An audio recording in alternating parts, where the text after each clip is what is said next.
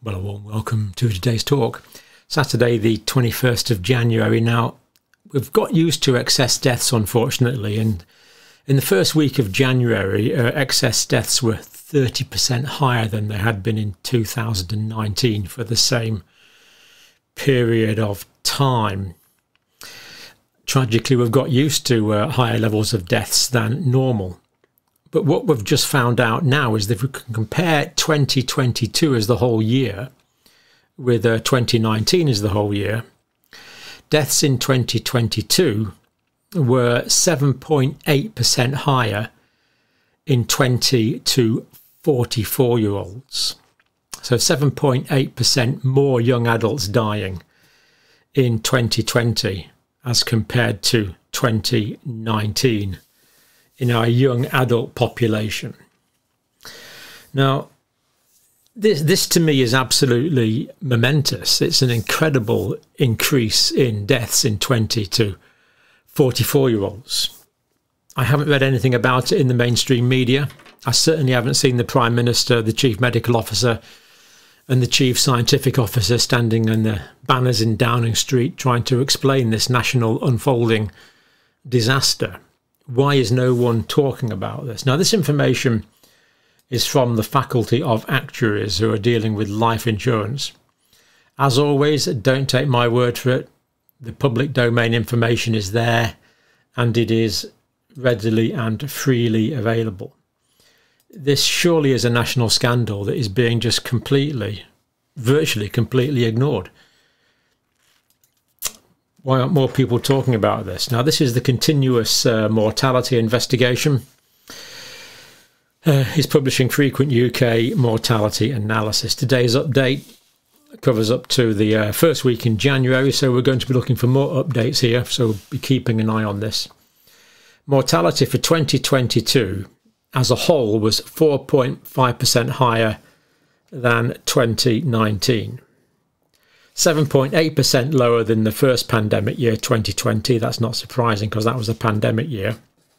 And 2.2% lower than 2021, which was also a pandemic year. Um, but why is it still 4.5% higher? And we know that all these deaths are not attributable to COVID. They say there's a striking difference in how mortality rates in 2022 compared to 2029 at different ages, as we've said. 2.5% higher in 75 to 84s, 7.8% higher in 20 to 44 year olds. This is just a huge difference. Increase in mortality. Remember, this is 2022 as compared to 2019. The government must give an explanation of this. This must be discussed. It's just incredible that these deaths are occurring in our young adults. Quite incredible. In the UK, there's been around 155,000 uh, more deaths from all causes than expected from the start of the pandemic to the 6th of January 2023.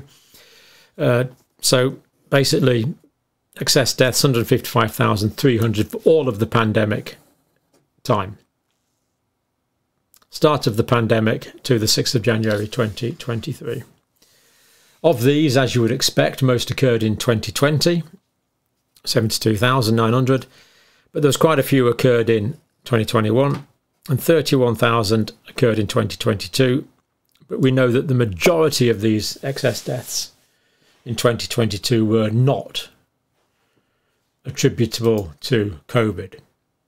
There were other causes of these excess deaths. In the UK, in the second half of 2022, there was uh, 26,300 excess deaths compared to 4,700 in the first half of 2022.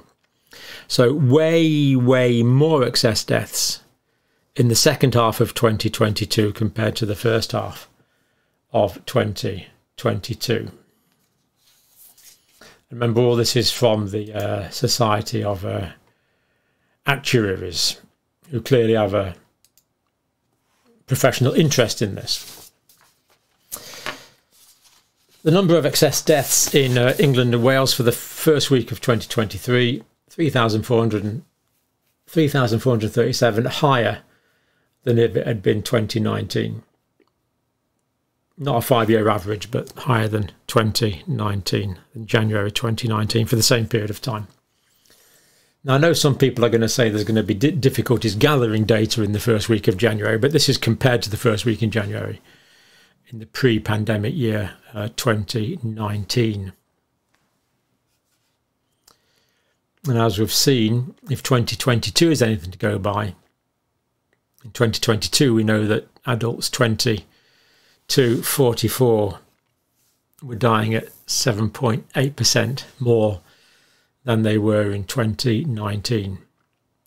You know, this is not, we can't attribute this entirely to people not being able to get a few statins during the pandemic or even a few blood pressure pills during the pandemic. There's other causes to this. We can't attribute it to that as uh, some government sources have been attempting to do. We want to know the full reasons for this. Equivalent to more than 30% deaths more than expected. So 30% up for 2023 already and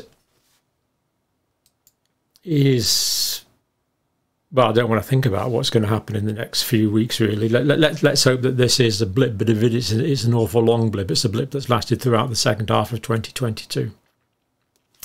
Now, speaking uh, on this website here, uh, Mr. Cobus Daneel, uh, chair of the CMI Mortality Project Committee, although weekly excess mortality in the second half of 22 wasn't nearly as high as the peaks earlier in the pandemic. It was persistent. So obviously, obviously, obviously, in the peaks we'd expect it to be higher, but this was persistent. It just kept going. To put it another way, people kept dying.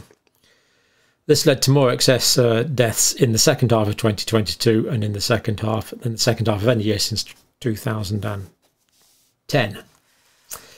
Excess mortality has been particularly high recently, with more than 7,000 excess deaths in the three weeks to the 6th of January. So the last couple of weeks in 2022, first week in 2023, and I think this is just England and Wales data 7,000 excess deaths.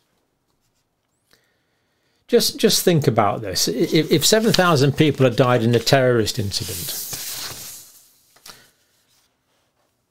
it would be it would be all over the, it would be all over the news. It would be everywhere, uh, rightly. We've had seven thousand excess deaths in this in this what three week period, um, and not not a, a squeak from the government that's supposed to be looking after us, and that's not a party political point. This is the whole institutes of state that seems to be letting us down. Now, um, that's all I wanted to say, really. Um, this is a completely different topic here. Indus Hindustan Times, um, national Indian newspaper. Um, now, we've been talking about Davos. So, Albert Bourla, chief executive of Pfizer, was in has been in Davos.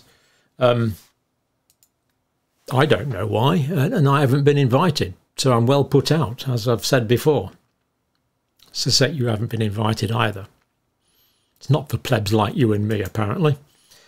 World Economic Forum meeting, series of tough questions about the efficacy of COVID 19 were asked by journalists. Now, I did put these, uh, some of these in, but other sources that have uh, quoted this information of, um, let's just say they're no longer as readily accessible in the public domain, so I didn't put them in. But Anyway, uh, Mr. Bonjoro an- answered these questions. Uh, thank you very much. Have a nice day. So um, I put that in because uh, um, hundreds of you have been talking about a, a, particular video. I'm not going to mention it because um, it's been it's not readily available in all aspects of social media. What do you that guy that bought Twitter recently? Elon Musk, wasn't it? Anyway, separate matter. Right, uh, Indian Minister for State Information and uh, Technology, Rajiv, and so I'm not going to try and pronounce your name, my apologies.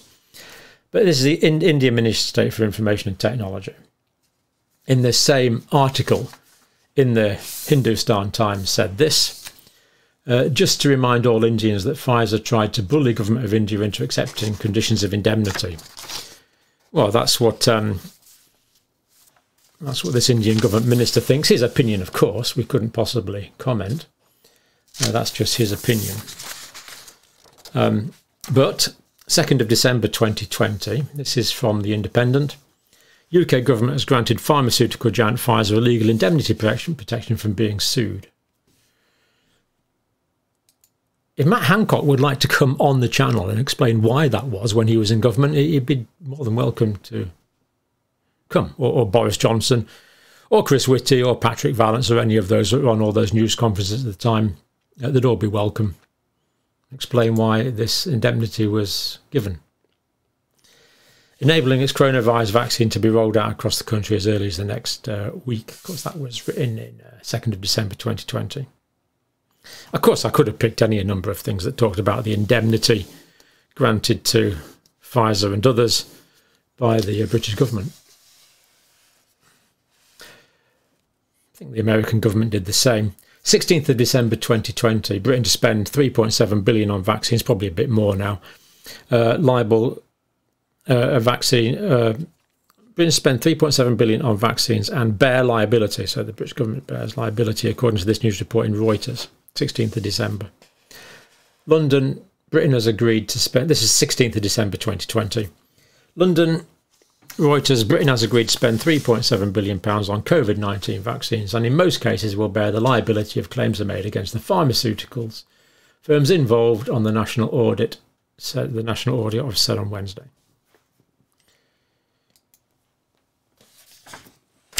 We don't know why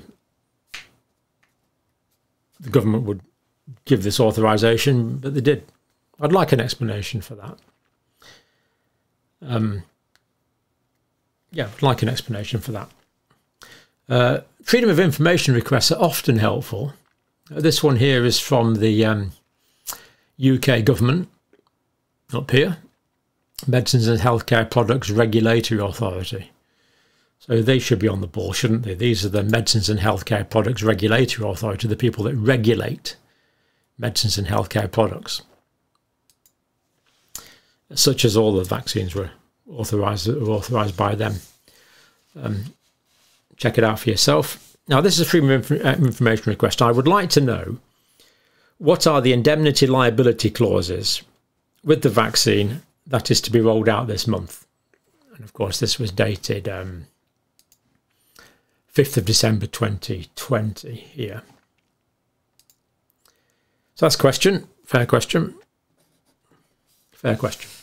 Furthermore, I would also like to know who is liable for any adverse side effects that occur. Fair question. Let's get the, uh, the answer now from the National Medicines and Healthcare Regulatory Authority. The MRHA holds no information on this. What? No information on this. We recommend that you contact the NH England for this information. This sort of buck passing, in my view, between government departments is just not acceptable. Hiding behind complexity, and it's not my fault, mate, is just not acceptable at this level. Just not acceptable. Anyway, another question. I would like to know why Pfizer and the NHS staff uh, administering the doses require full uh, indemnity. Fair question. The MHRA does holds no information on this. We recommend that you contact NHS England for this information. I'm, I'm not making this up. Look, it's on this website. It's on here. Look at it. Unbelievable. I'm going to leave it there before I say anything else. Thank you for watching.